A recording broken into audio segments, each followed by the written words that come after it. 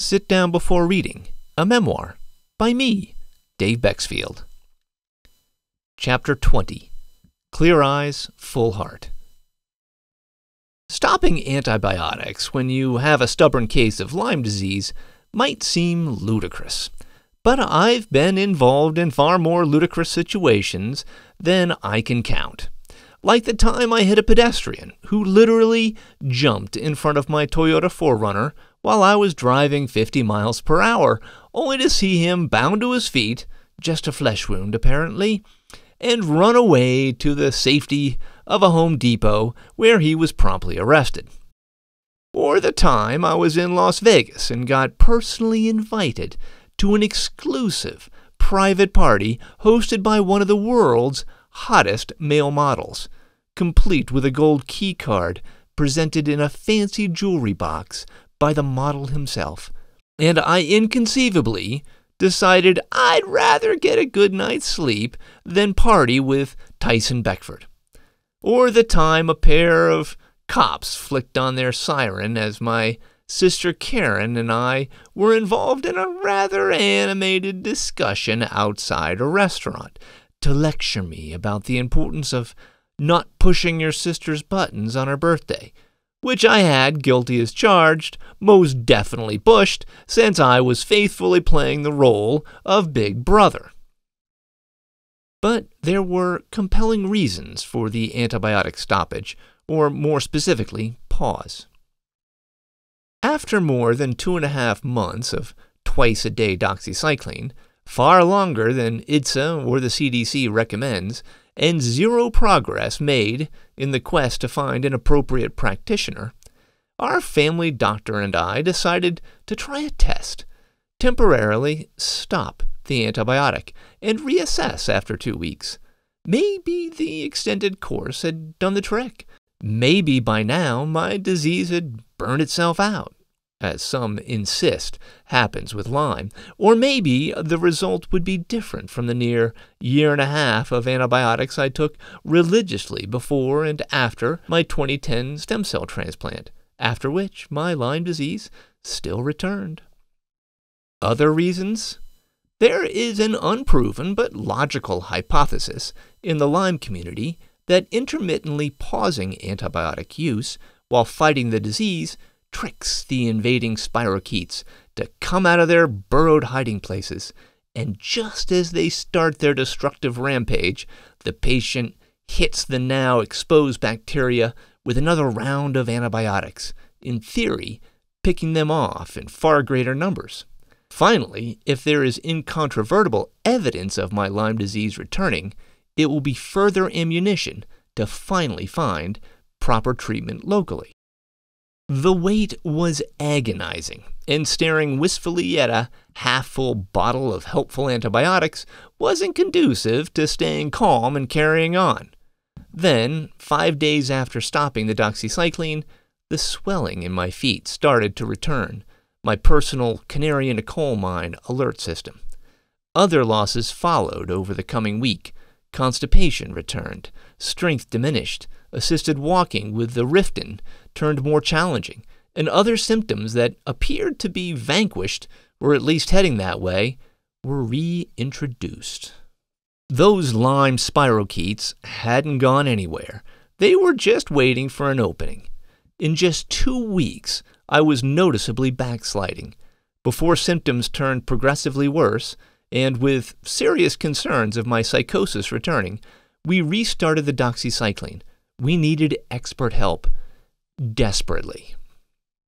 I've got the email of one of the top Lyme disease researchers in the US, I told my doctor.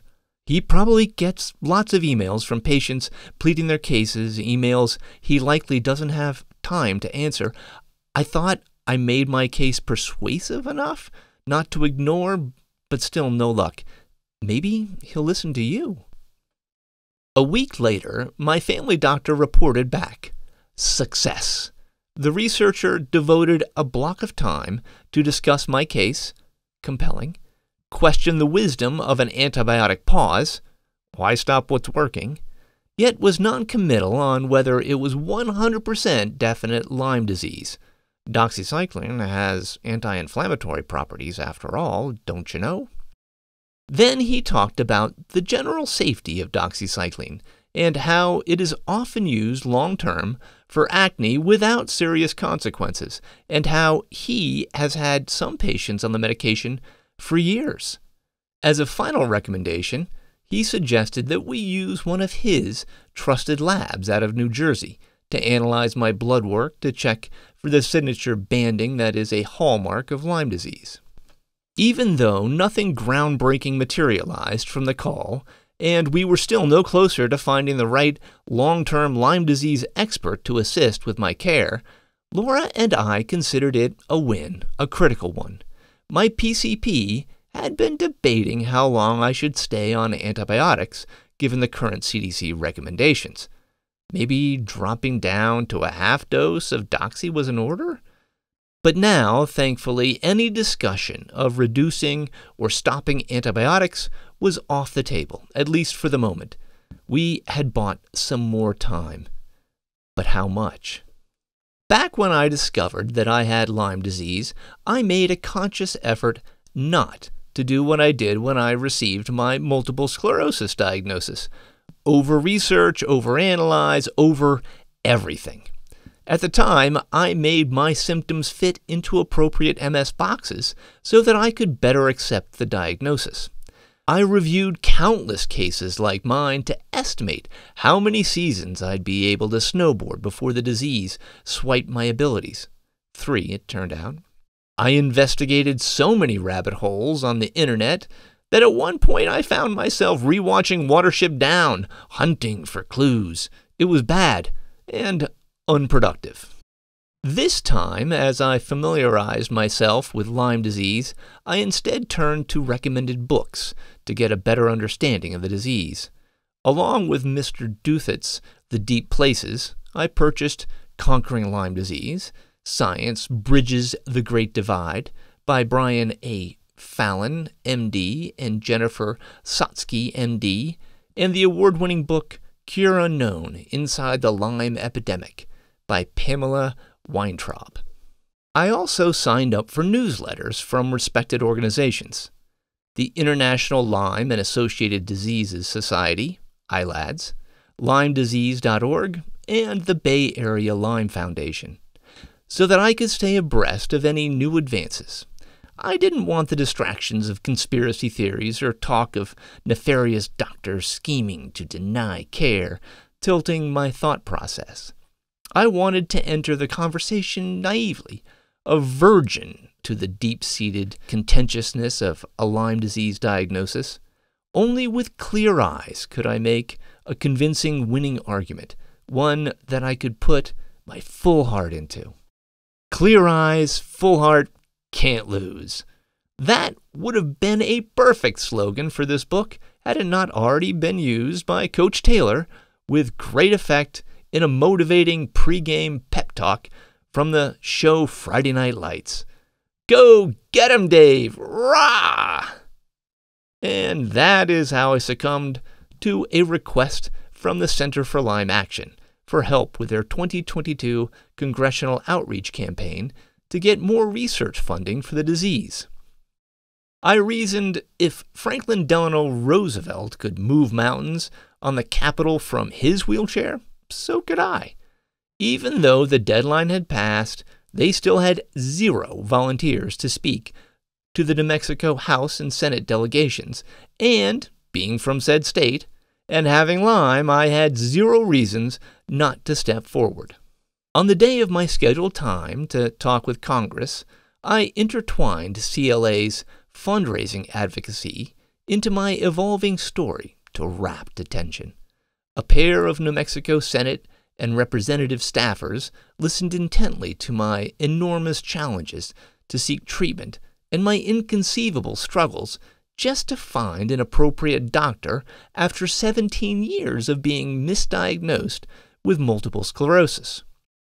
And I made a point to listen back, as one staffer had her own compelling misdiagnosis story, which drove her to choose her career path. She was in the process of getting her master's in public health, or MPH. both made a surprising offer. How can their offices help? Who should they contact? What can be done? N- nothing. Nothing right now. I have to do this myself. As I was saying that, the image of Homer strangling Bart came to mind. Only it wasn't Homer doing the strangling, and the stranglee wasn't Bart. I hoped Laura would understand and not resort to assault. I had tried explaining my position first to the representatives. I'm not going to be the only one with this problem, not by a long shot. It's not realistic or feasible for other misdiagnosed patients to turn to their state's congressional representatives to get standard treatment for a common health condition. If you help me, you help only me. As one of the world's leading advocates for multiple sclerosis, I have a responsibility to help my friends who will be similarly misdiagnosed. I need a chance to make this right.